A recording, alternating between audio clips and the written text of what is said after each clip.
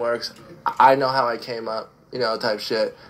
Dissing other people, like that's just proven thing to work. I've been done that, so I mean, it's like, you know, he did that. He got the views, and um, you know, it's about KSI shit. A four minute diss though is like after two minutes, because all my songs are like two minutes. Like after two, I was like, Chief.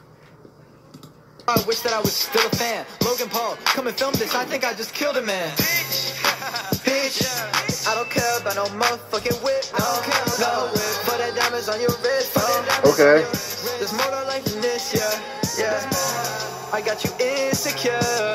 Nah, but it's like, you know, it shit, yo, it shit's good, man. You know, it's it's like, think about it though.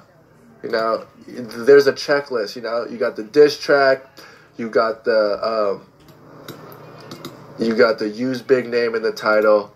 You know what I'm saying? And and drop the music video, and then sh- it shit goes. I mean, he did what you know I did. You know what I'm saying? I did this two years ago. So everyone like surprised about it is like